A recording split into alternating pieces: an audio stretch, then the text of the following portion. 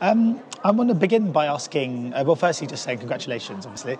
Um, how, what does it mean to you to be a European shooting star? Because you've already got quite a lot of good credits behind you. So, because obviously for some shooting stars, you know, it's like this is the very start, but you're already kind of already on the ascendancy. Yeah, so, yeah, yeah, yeah, that's true. I, I didn't do the first movie that changed my life. I created, well, I created that. I didn't.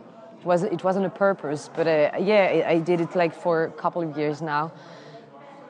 But it's an opportunity for us to meet different sort of um, different approach of acting because of the culture of everyone, because of the countries, and also have the chance maybe to work in a different language than in French or just to meet people. You know, we have the chance that we are here and we we're not doing this uh, interviews and everything on Zoom, so we can physically meet each other. It's very important for cinema.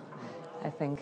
Yeah, that, there seems to be a real feeling in the room that we're all really happy to be here yeah. because we're sort of we're sort of celebrating film again, and we haven't had yes, the chance to really yes, yes. to do that for some yeah, time. Yeah, I really feel like I'm in a school trip. You know, we had yesterday we had a beer together in the hotel lobby. We just talked about our background, our stories, and we're just all smiling and just happy to be here. And this is what's the most important thing, just to connect with each other talking of backgrounds and stories, I was going to ask you a little bit just about your your own background in regards to becoming, uh, to getting into acting. Is this something you wanted to do from when you were very small, or did you sort of discover that passion later on?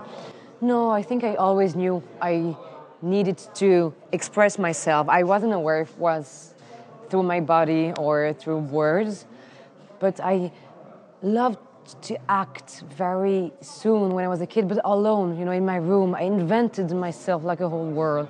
I had like a fake boyfriend. I had like a, I told everybody, people, I was a bit of a liar. You know, I, I invented myself, but I was a gymnast at the time and I didn't have like a real life.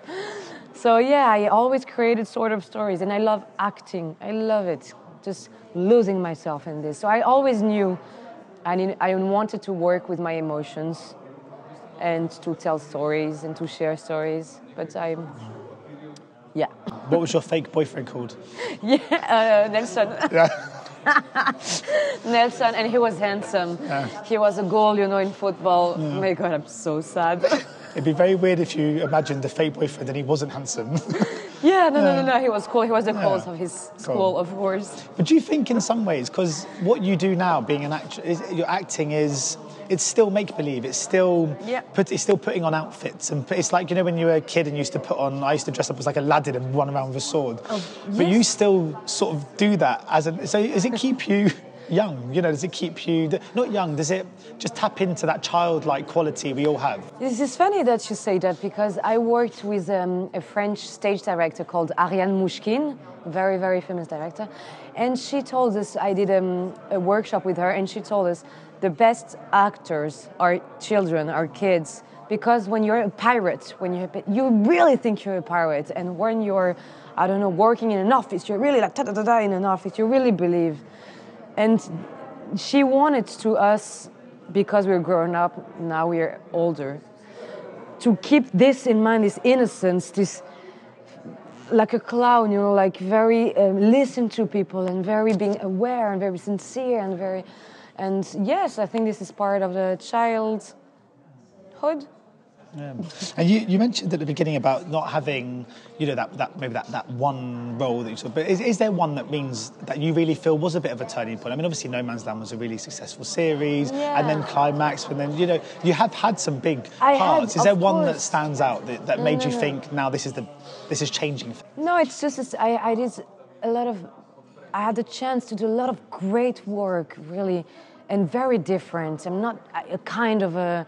I, I try to, to do different characters, but I mean, the reason why I'm here for the Shooting Star is because of the, because sorry of the movie The Braves, from directed by Anaïs Volpe, and it was my first experience as a main leader, as a main character, and I didn't. I never had the chance to experience how is it to work? How, how big is the work when you're a lead character? And that's why I said I don't have this role that changes my life. It, it's not true, but it feels like I'm touching a bit theater, uh, TV, and then movies, and then ta ta ta, and independent movies, and then now I'm coming to do popular, more popular. It's so different, and it's very rich. It's it's ama- I'm very lucky. I'm very happy to do it.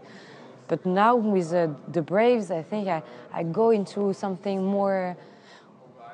I gave myself for that movie. I'm naked in this movie. I mean, not naked, naked. You mean, you know what I mean? I give everything. I lost my soul in that movie. So it was very, very important to me, to people to watch this film. And just very quickly, my last question, because uh, I was interviewed Ariane Labed yesterday, Oh, and obviously you work with her. On, uh, I, this is where I'm going to be very English. I'm going to try avant l'effondrement. I can't say. Avant l'effondrement. That's uh, that, that's what I meant. That's what I meant. um, is that have you shot that yet? Is that? is Yeah, that, know, we 'cause did it. So excited to see. it. I mean, a great cast. Yeah. It's amazing. Yeah, yeah, it's with uh, Niels Schneider, Yeah, Ariane. Labed, and no, no, it's. This is also something. I'm happy.